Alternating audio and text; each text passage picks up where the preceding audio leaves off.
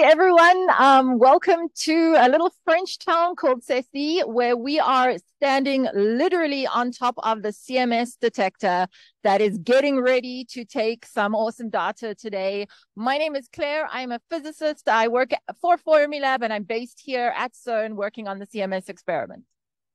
Hello, everyone. It's a great pleasure to welcome uh, all of you virtually here uh, today at CMS. I'm Cristina Penades. I'm mechanical engineer uh, and I work uh, on the integration office of the CMS uh, experiment. So today we are going to take you on a tour of the experimental site. We can't go into the cabin where the detector is located because the LHC has beam in the accelerator right now um, or they're getting they're getting ready to put uh, more beam inside uh, right now. But uh, we've got some other areas that we're we're able to go to, including underground, uh, where you'll be able to see some very cool things, including places that you won't normally be able to go to if you ever come here on a visit. Exactly to compensate uh, uh, all of you, because of course the best way to visit CMS and to experiment is to, is to be on site. It's not possible today uh, nevertheless, uh, I will guide you to uh, a spot that even as a visitor on site, you won't be able to to check it out, and you will come with me, and I will explain you what are the major ch challenge and upgrades that we will do on the following years over CMS. All right. Do you want to head on over there now, and uh, we'll watch you as you get going through the door? Sure. Okay. See you. Meet you later on. Great. In the meantime, I'm going to keep you all entertained. So behind me is a full scale photograph of a slice of the CMS detector. So just to get an idea of how big this thing really is, let me move all the way back and then you can compare me to the detector. So you can see we are looking for particles that are really, really, really tiny. Oh,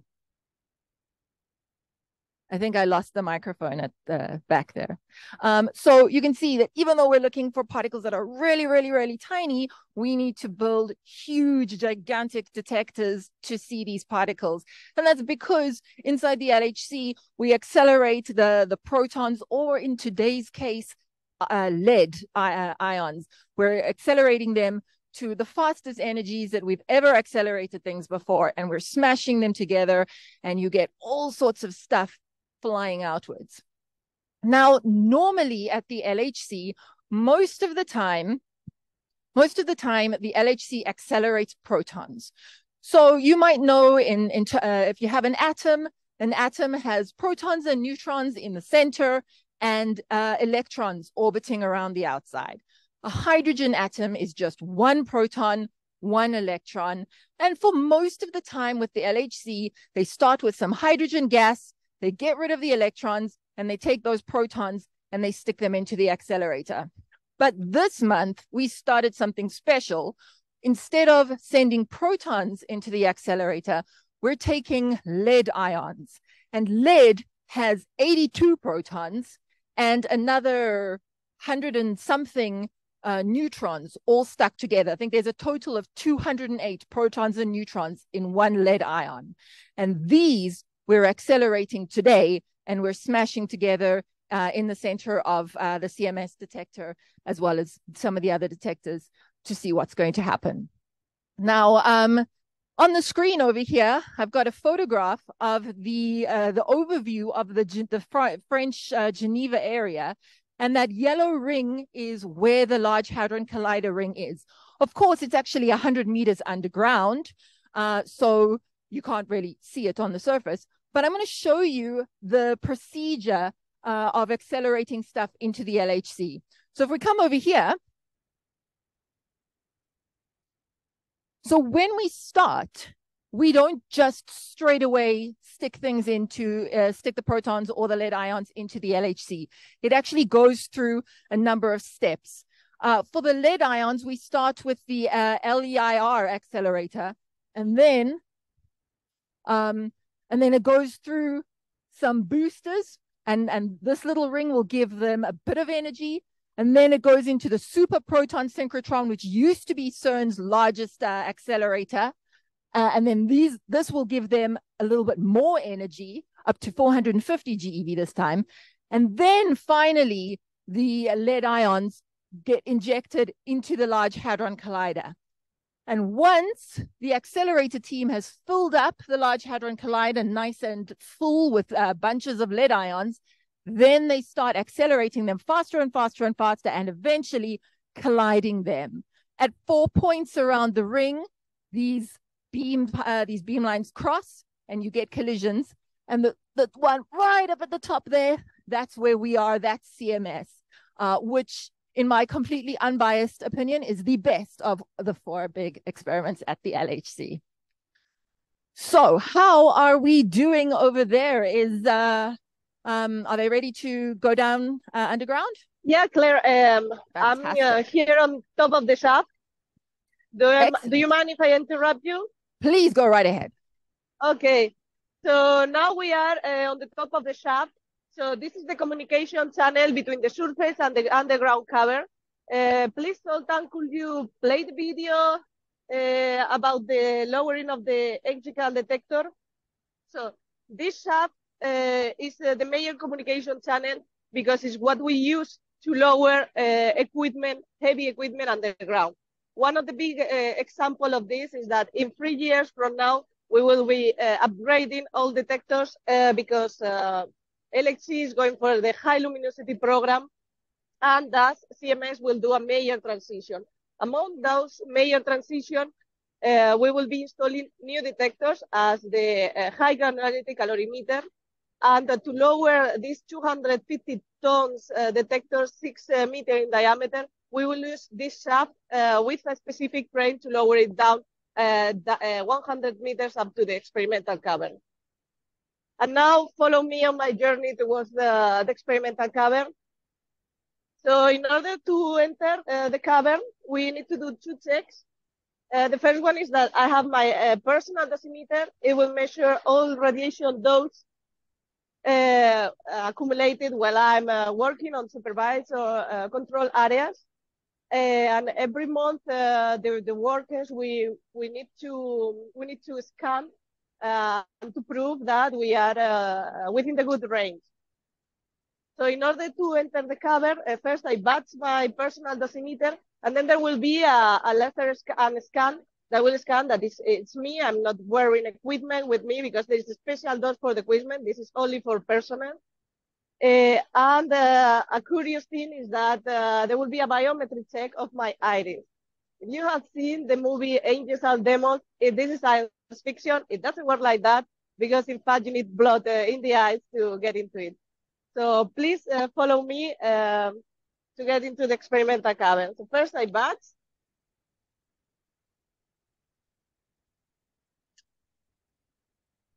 Now I'm entering on the yellow door and I will do the biometric check. perfect. Sometimes uh, uh, the system gets rejecting us. Uh, it went very well uh, today. Now Noemi, my camera, which is behind me, I would like to show also uh, her after because she's uh, doing a great job. She's doing the biometric check again. You are seeing with the camera the the iris check and great, she's here with me. Okay, so you were a visitor on the ground. Uh, we will give you some uh, helmets for visitors. This is not because it's a shiny color and I think we're losing connection uh, right now with the others. So um, I can tell you a little bit about the, the, the detector. In the meantime, we tend to lose signal as they get close to the the elevator. So while they're busy going underground, I think they'll be going about 88 meters underground, which will take us level with the actual LHC beam pipe. Um, so let me tell you. Oh, there yeah, we go. They're sure, back in the lift.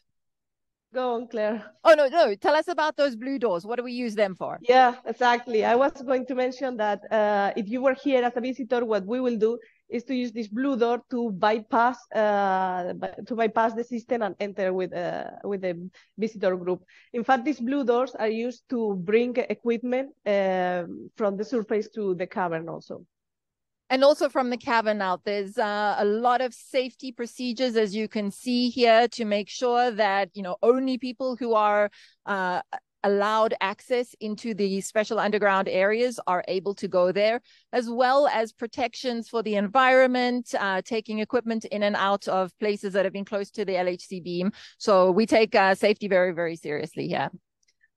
Yeah, we will talk a lot about safety today. You will see uh, in many occasions. So now we are uh, on the on the surface level, and in fact we have two caverns. One is the service cavern that we will be passing by in our journey, and the other one is the experimental cavern, which is where the detector sits. Now we are at the level zero, and uh, we have three levels. So the first one is minus one, which is uh, minus, uh, 80 meters. The second one is at minus 90 meters, and it's the middle, the middle of the detectors. Uh, usually visitors goes to minus two level, and then go to the balcony platform, and they are exactly at, at the at the beam line height, and it's the best place to observe the detector and be at the uh, and be at the experiment. So uh, I'm eh, going to. Great, we'll see you down there. Now. So the connection will be lost. Uh, see you on the ground in a while. See you down there. Uh, have fun. So, um, as uh, as Cristina mentioned, we have two caverns. So there's one cavern that holds the detector, and that's literally under my feet. And slightly to my right is uh, the cavern that Cristina is going into. And this is the cavern that holds all the services for the detector. One thing that makes CMS special is when they started digging through the ground here to to excavate to build the caverns. The ground here was very soft so they had to add extra concrete reinforcement between these two caverns. You can imagine if you've ever been to a beach trying to dig uh, two holes next to each other in very soft sand they're going to co- collapse in on themselves unless you put uh, some reinforcing in between. So we've got seven meters of concrete in between the experimental cavern where the collisions happen and the service cavern. And this means that you are completely protected from any of the radiation uh, from the, the, the collisions when you're in the service cavern. So we can take visitors down even right now while the LHC beam is running. And that's one thing that makes CMS really special. So let me tell you a little bit about the detector.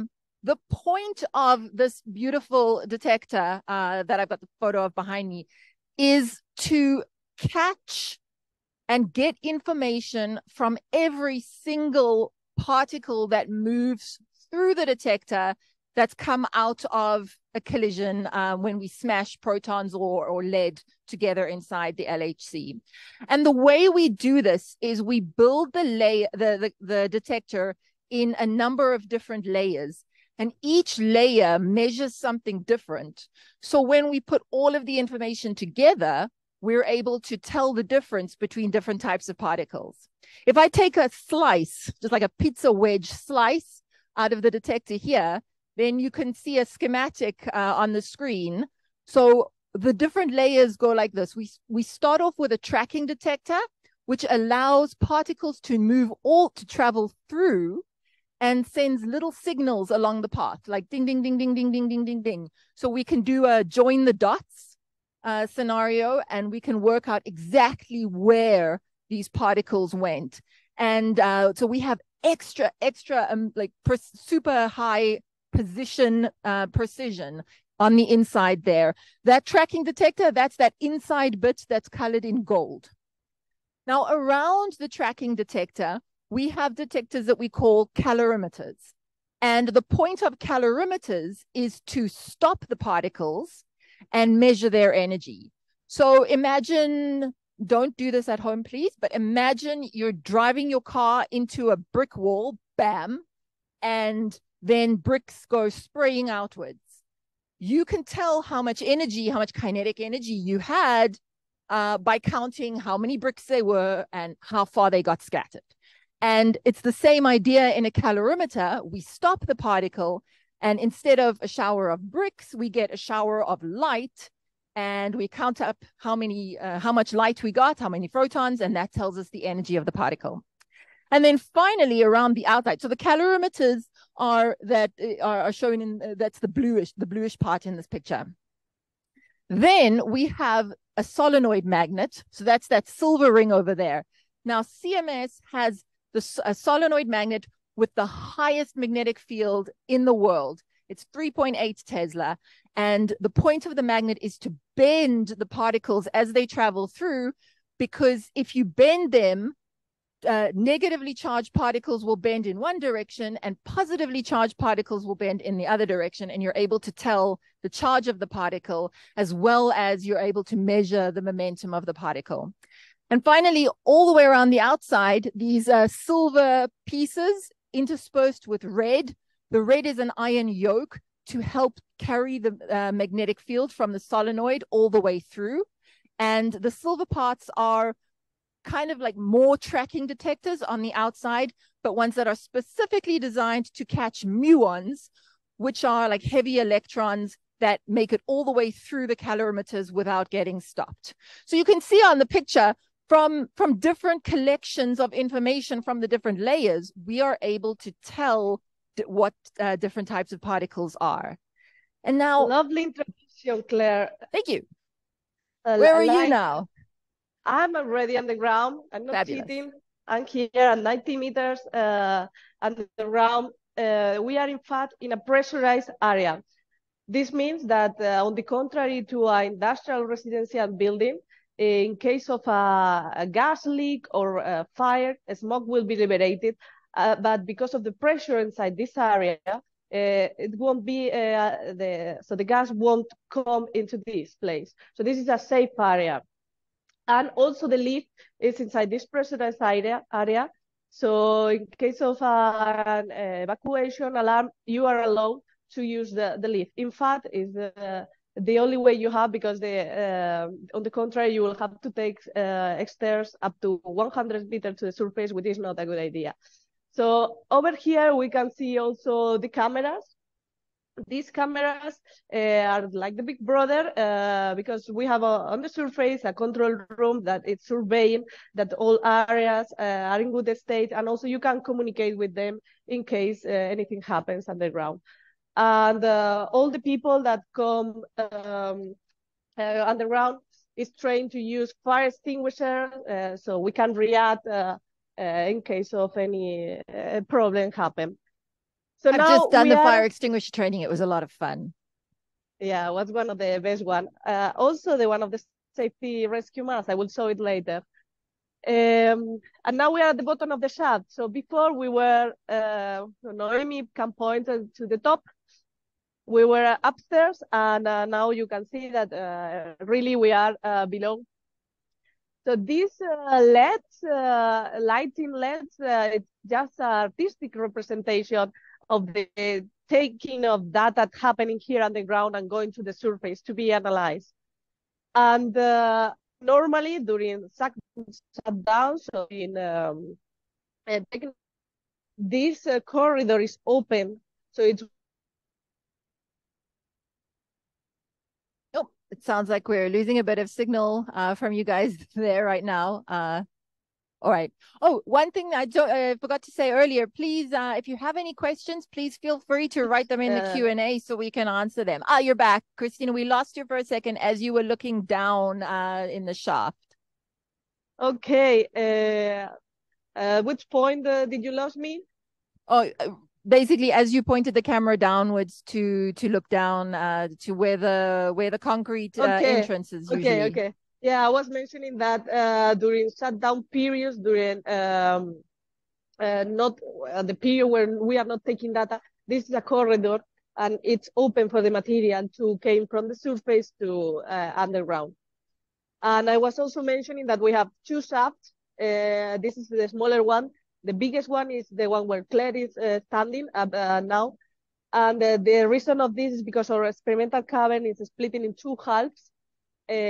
And uh, they, they are both symmetric. So we have the choice to either lower material from one of the ends or lower material from the other end. You have to imagine that the cavern is very large and we actually uh, need these two passage uh, for all the material coming down.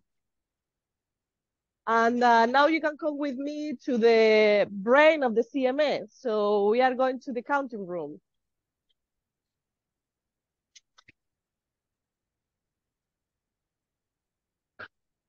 So here is very uh, noisy, but uh, I think uh, for you it's fine. You cannot hear any of the noises uh, around. All the noise no, sounds good. from the ventilation of the of the racks. So one of the first uh, point that we will access is this uh, corridor where we have uh, racks. Mainly this is for fiber optics.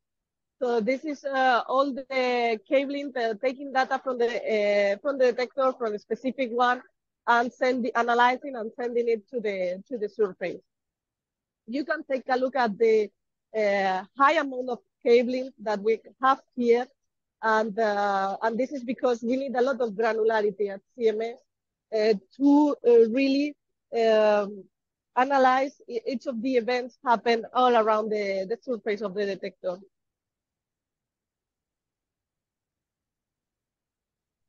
Yeah, so you know, this is these are just parts of the, the that that are powering the detector and providing cooling and providing gases and high voltages. This is not even in parts of the detector itself. It's just all of the additional stuff that we need to keep our detector running.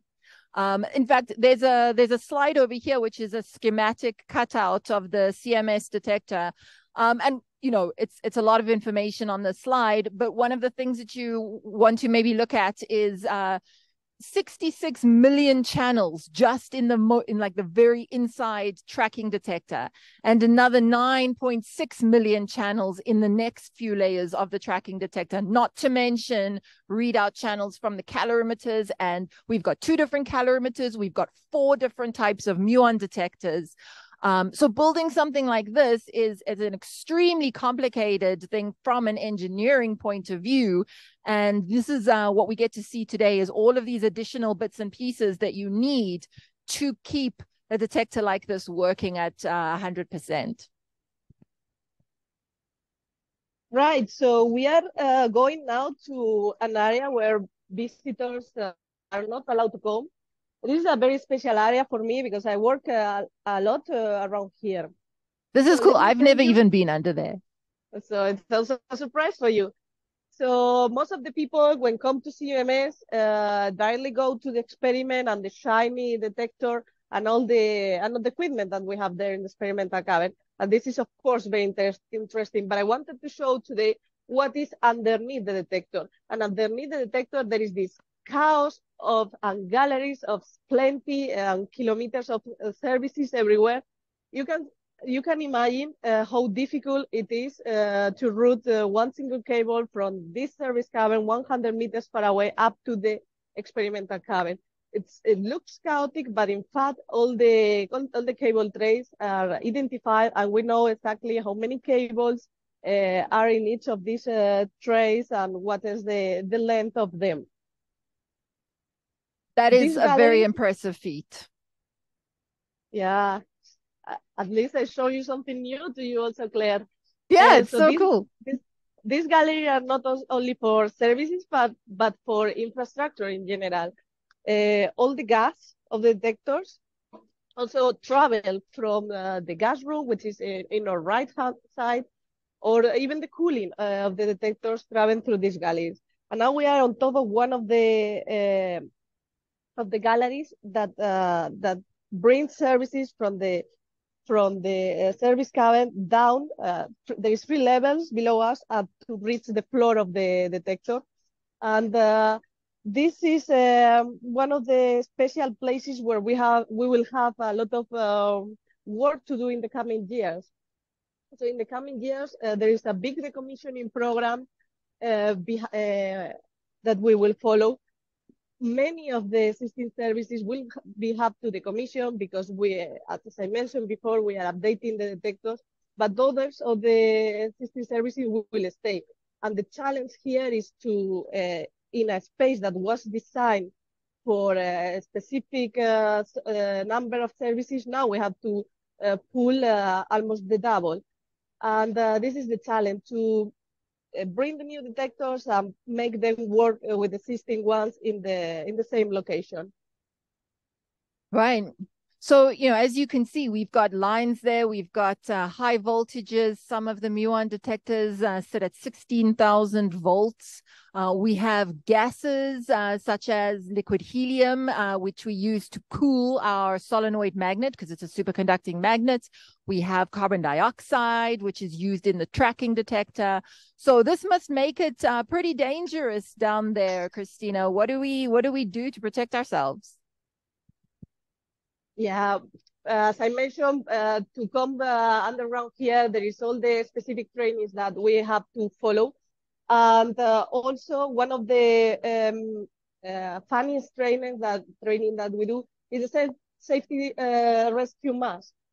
So this is the, this box here that uh, we have to wear with us. and in case of a gas leak, it could be helium, it could be CO2, we we open the box and as uh, my dear friend Tom is here, we we put this um, this tube and we have 30 minutes uh, of oxygen. This uh, creates a reaction that gives you oxygen for 30 minutes and you are allowed to, and with this you, you can uh, go to one of the escape uh, route that you have. And uh, this red door that we have here is in fact the access to the LHC tunnel. Uh, but not only.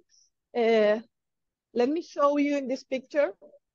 So we were here. So, uh, you, you can see the two covers. So this is the experimental cover, while this is the service cover. And we were here in the in the lift. So we came all the way up to this point, and this is the red door. And you can see exactly how the red doors communicate with the LHC tunnel. But also, it's a second evacuation path to a new, another lift. If I'm here and something happens and I cannot uh, come back to the lift I was showing before, I have a second escape route to, to uh, another lift. But if we open that red door and the beam is running, then the safety mechanisms kick in and dump the beam um, to protect us. But so, you know, we that will make people very angry with us if we don't have a very very good reason for doing so. So yeah, but we try to okay uh, follow me. Um, you were the visitor. Uh, normally we will go through this uh, yellow door. Now not possible there is no act there because uh, as claire mentioned we are taking data. But still the magnet on and uh, we would like to have. We're losing signal over there again. I think they're the getting pretty much pretty close to the magnetic oh. field.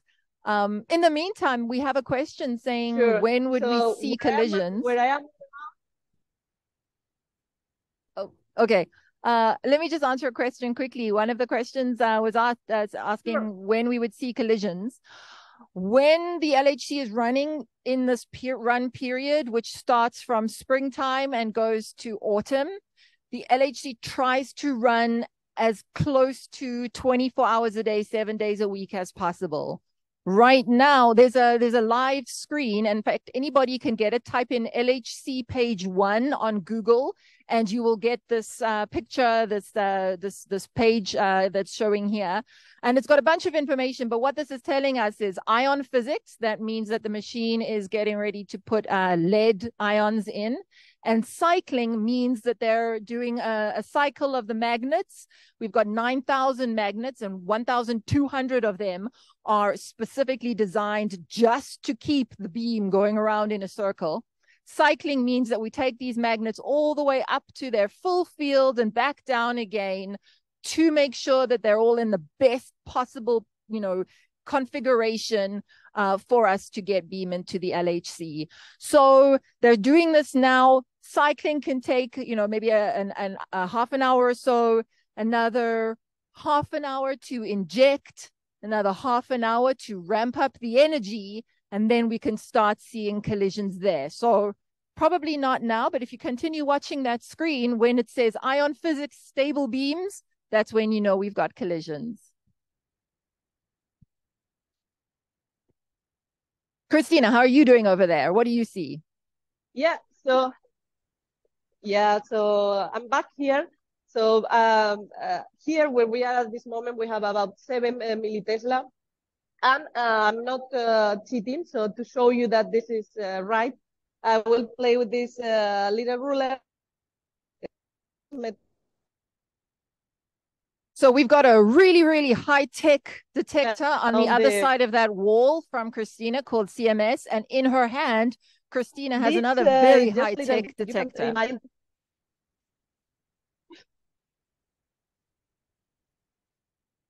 Okay, so uh, this is just a little game, but uh, when working on the ground, you can you can hope to be uh, working magnetic field will be much more stronger and can attract uh, the tools that can damage something. Non-magnetic field, um, non-magnetic uh, tools. Another little game that we can play here. We love to play with the the magnet. You see that this uh, So we can, we're about 20 meters away from the magnet. And right there where she is, we can still feel and see the effects of the magnetic field using paper clips. Um, it seems like, yeah. yeah. Oh, there we go. We've got them back right now.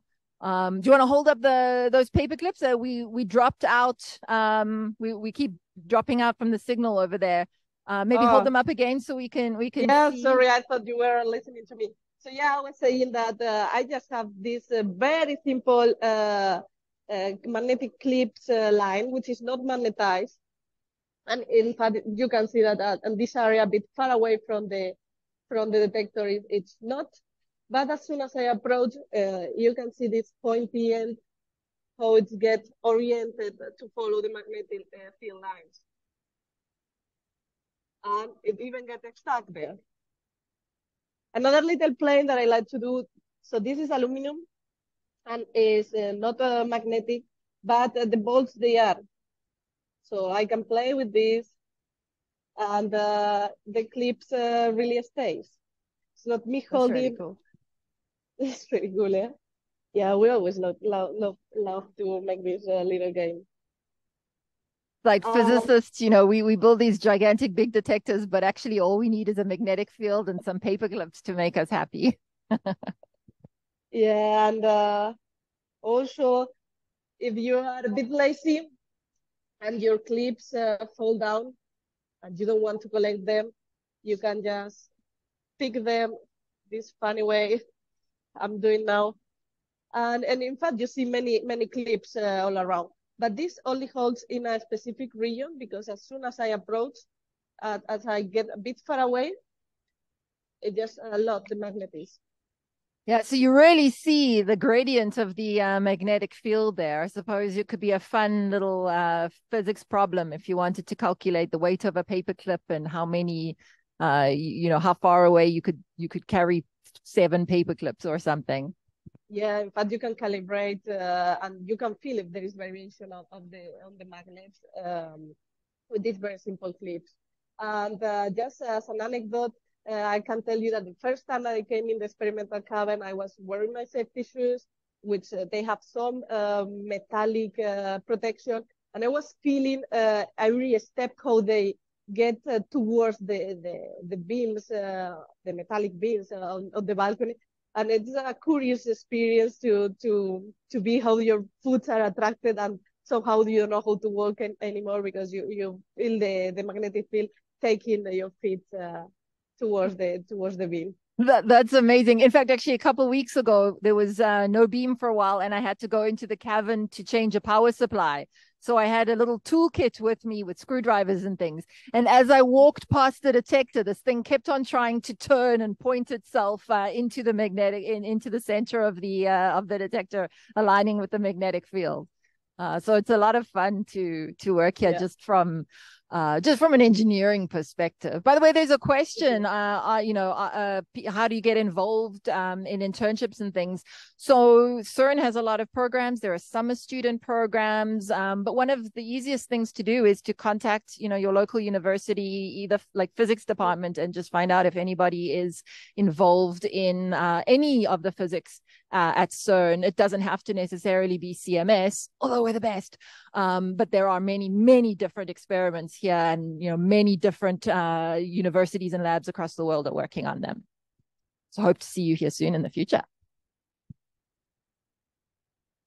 So there's also the, so the, the door that said Higgs boson. Yeah, that, that's a funny poster. That's actually that's actually by the elevator. So that was the elevator that came out. I think that's a poster that was left over from one of the open days. And it, so here's a fun fact about Higgs bosons. When we're smashing protons together inside of the LHC. Claire, um, uh, just oh, to inform you, yes. we are uh, going um, up to the to you're going up to minus one. Excellent. Okay, they're going up to minus one. Anyway, fun fact about the Higgs boson. It takes Higgs Higgs bosons are pretty rare events. Uh, about one in every billion collisions produces a Higgs boson. But the Higgs boson lives for, you know, a tiny, tiny fraction of a second before it transforms into other particles that actually live long enough to go through our detector. So we never see a Higgs boson. We see, for example, four electrons instead. Um, but if you add up the combined mass of those four electrons, then that is uh, that's the mass of the Higgs boson. Um, oh, there's an event picture. Uh, he no, not that one. Oh, hold on. there. Is this a Higgs a Higgs event? So in this event, ah, this is actually it. Well, this is a candidate event where you have a Higgs boson giving off two electrons, which are shown by those big green spiky things that just shows you've got a lot of energy in each of the calorimeters. And then the two red lines going through those red panels, those are the muon detectors. So we've got two muons, two electrons. Um, and if you add up the masses of those four together, it ends up being uh, around the mass of the Higgs boson. So this is a very nice candidate Higgs boson event. You know, in physics, we never can say with 100% certainty that this was a Higgs or was not a Higgs. But uh, what we do is we, this is why we need to take lots and lots of data. We, uh, instead of, we can't prove anything with just one, we take a whole bunch uh, of pictures like this. And then what we should do is we should see a collection uh, of them that look uh, that look like Higgs bosons. And if the collection like matches what our theory predicts we should see, then that gives us confidence that our that our theory is correct. Oh, where are you now, Cristina? Hello, uh, we are back uh, here we are on the level above that we were before. So this is level minus one. And you can see this uh, empty room uh, where there, in fact, there is now works ongoing, refurbishment, the, the floor. And uh, this area will be very special in the upcoming years and of critical importance because here, what you see now as an empty room, uh, maybe you can put the, the slide of the two-pack cooling plant room that I mentioned to you before. So it will be transformed in three years to become uh, what you are seeing on the slides. So let me tell you that the new generation of detector will be silicon based and uh, to in order for this detector to withstand the uh, radiation hard environment during long term uh, during long term condition they need to be cool at sub-zero temperature for that uh, we are using uh, CO2 as a coolant. And uh, some of the advantages of CO2 is that they are um, very good uh, in, in, thermally. Uh, they are also uh, working very well in small pipes because you know that the first letter of our experiment is compact and to integrate on the cooling element, one of the requirements is also to be compact. So CO2 can be uh, can work well uh, thermally in very small uh, diameter pipes and also respect the it's environmentally friendly. So this will be the cool the cooling room where the the eight plants of each of the detectors um, will be held.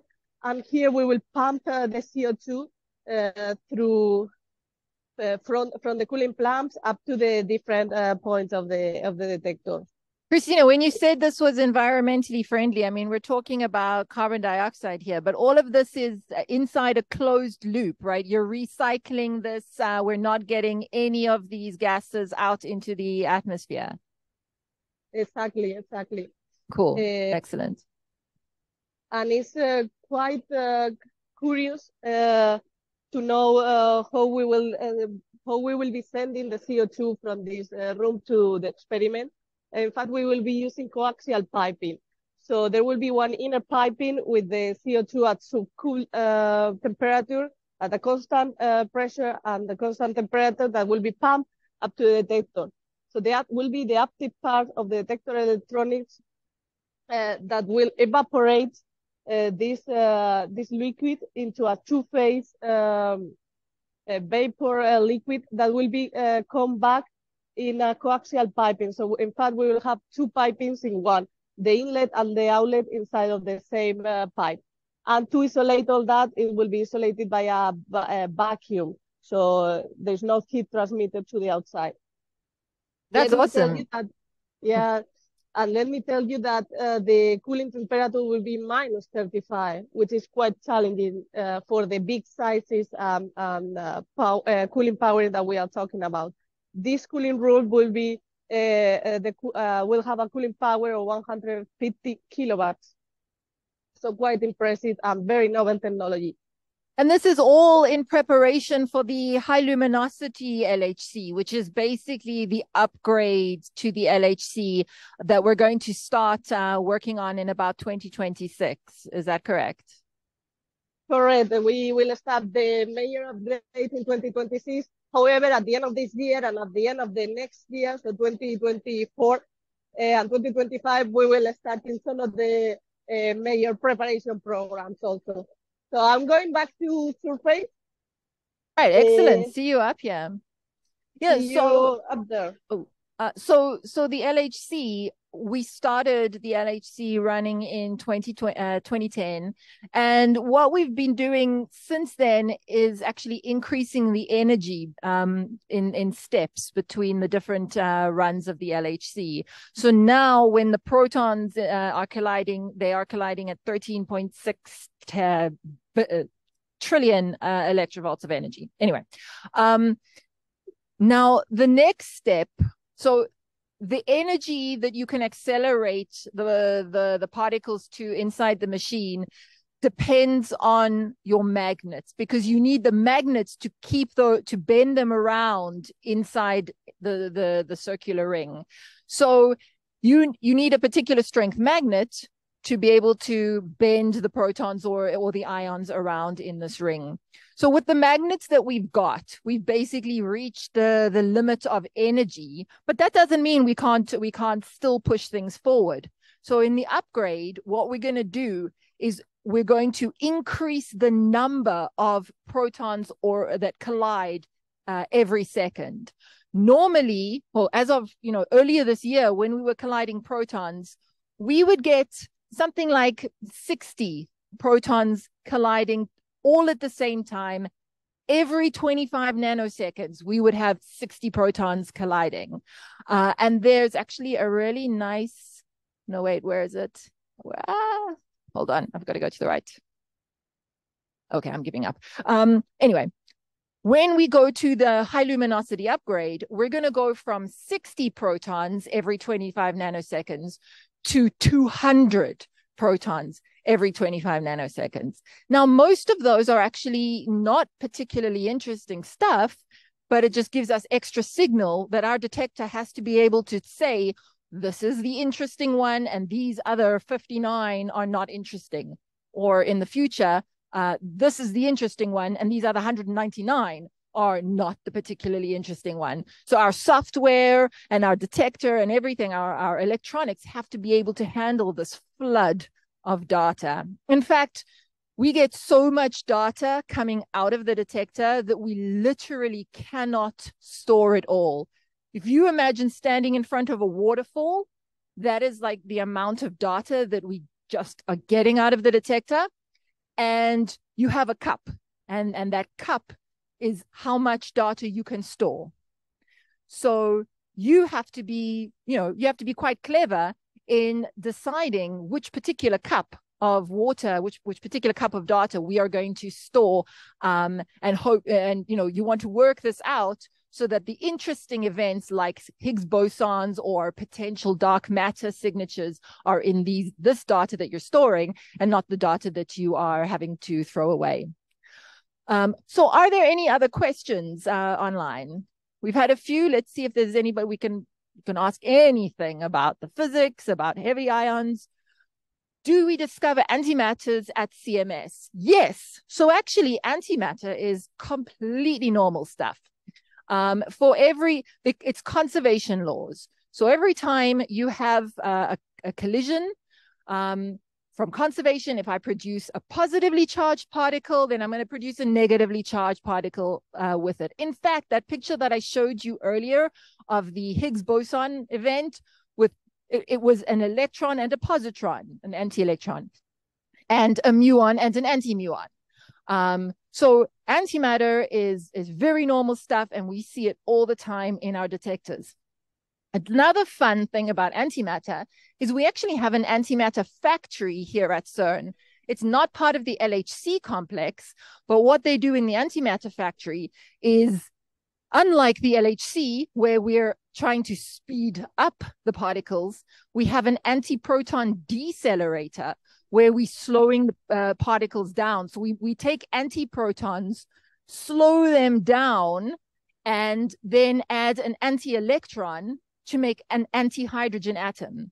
And just this week, uh, there's been a really, really exciting result that has come out from one of the uh, experiments at the antimatter factory, because one thing that you you might have wondered over the course of your life is does antimatter fall downwards in gravity? And, you know, it's got mass, so you think, yes, it, it should. But up until this week, nobody had ever actually done the experiment to answer that question. And uh, earlier this week, the ALPHA experiment produced a result uh, where they literally made took anti-atoms of hydrogen and dropped them and watch to see whether they fell downwards or upwards. And I'm not going to tell you the answer. Uh, you should go and look up the answer to see if uh, to find to find the result. Um, okay, so how can we make sure that our system does not exclude interesting data? So this is a very very good question. We have teams of people working on this. It's called the trigger. Um, so we have we have teams of people working on what we call trigger rules to select events that we expect to have the signature of interesting stuff. Um, and and so it, it there's like an automatic signal to store this data based on what the signals look like in the detector. And in fact, in the control room, one of the shifters is a trigger shifter who is exactly. paying attention to this all of these where things. I'm this is exactly. where I'm now at this moment. So we are in the control room and uh, we have the different uh, positions here at the control room. Uh, this is the shift leader position. Uh, this is the the location. Hello, sorry to interrupt you. This this people is very busy and we are filming now at this moment. So this is uh, in um, in communication with with the LHC control room, and uh, this is the screens that uh, Claire was showing before. At this moment, we we are ion physics cycling. Um, and the, the machine is closing, but normally this is the data that we see here. So we see the two beams intensity and we see the uh, integrated luminosity taken by each of the detectors. Another of the uh, position that we have here is the data acquisition, where we see all the particle events or the interested events that are happening now and are on the moment uh, being analyzed by the, by the experts. And on the on the right hand side, we have the, um, technical shifter, and uh, these are the screens that you see several hundred of screens and this is in fact uh, taking care of the safety of the detector. So we check that all cooling it's green, that there's no leaks, there is no any problem going around. Uh, we also check the gas status. We also check the uh, the alarms happening of the detector. Uh, alarms, uh, for instance, related to oxygen deficiency or overpressure or any any other uh, the sensors that we have around. You can also see the cameras that are surveying uh, the underground areas, and uh, from here is where you can communicate with someone underground, and they can help you to bypass the the doors or so ever.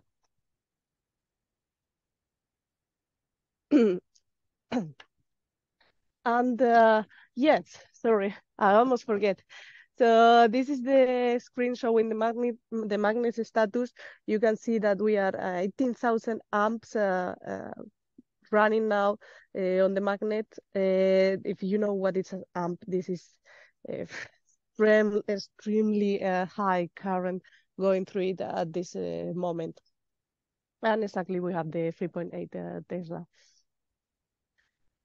And on the other side of the room, uh, what we have is the, um, the, the position of each of the detector. This uh, each of the detectors has a workstation where they survey the status of the of the detector. So we have ECAL, we have CSCs, we have RPCs, and uh, these people uh, sometimes they are uh, mm, doing tests, or sometimes there is a channel loss and they need to uh, aligned or, or correct uh, the the status of their chambers to to be in the good shape for taking data.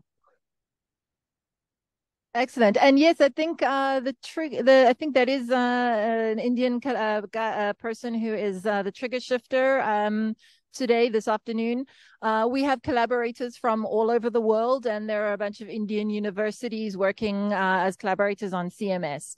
So yeah, we have a strong uh, Indian component uh, in in the collaboration. There are about four thousand people in total uh, working on this experiment. So we've got a nice uh, slice of nationalities from all over the world. I myself am South African, actually. Um, so so we have some other questions about about antimatter and elements. So in terms of making elements at CERN, so we can make antiprotons and anti-hydrogen at the antimatter factory. Um, we don't really make things like plutonium, although there is a facility called Isolde who produces uh, radioisotopes, uh, which are then used uh, for various applications and also for studying different uh, different things about the radioisotopes. So we can do that. Um, but you know, capturing and storing antimatter is actually particularly difficult uh, because, well, first of all, if you take uh, antimatter and it touches normal matter, then it's going to annihilate in, a, in a burst of energy. So if you want to store antimatter, first of all, you have to store, have a vacuum, and then you have to have a magnetic field to sus- hold the particles suspended in this vacuum so it doesn't touch the sides of the container that it's in. Um, and now, of course, if it's a mag- if, if you're using a magnetic field to hold something, it can only hold charged particles. So something like an anti-hydrogen atom is even more difficult because it's neutral. So you basically have to, if you're the in, in the antimatter factory where they produce these things, they're producing them at rest. And it's actually a very, very it's it's harder to slow things down and stop them than it is to accelerate them up to uh, 99.9999991% the speed of light. Um, yeah. Oh, so here's a question um, about the Higgs boson. So, how does the Higgs boson, which gives mass to stuff, have mass itself? That's a really excellent question. And it's uh, a particular property of the Higgs boson that, well, okay. So, we're going to get a little bit technical here. Bear with me. So, you have in, in, in particle physics, we tend to talk about everything as particles. But actually, what we what we're thinking about when we're thinking about the Higgs is there's there's a field called the Higgs field. Hello, welcome back. so there's a Higgs field which permeates, you know, the entire universe. And it's interactions between the particle and the Higgs field that gives them that gives the particles uh, its mass. Now the Higgs boson is special because it can interact with itself. The Higgs boson interacts with the Higgs field, and that is how the Higgs boson can have mass. Um, another prob- another interesting question actually is why does the Higgs boson have less mass than the heaviest particle, which is the top quark? And that is a question that we actually don't know the answer to. Um, and you know, we we we thought that supersymmetry uh, would be a great theory to explain that. So we've been on the hunt for supersymmetric particles for for a while now, but we haven't seen any yet. So we're kind of uh, we're kind of scratching our heads at the moment uh, as to why the you know why the Higgs boson is less than the top quark. So that was super fun. Thank you so much for that tour. It was my pleasure. Do we have uh, any more questions for the audience? Uh, so here's a question. What is the process after colliding or accelerating any particle? Um, I'm not sure what what uh, process they're they're asking about uh, there.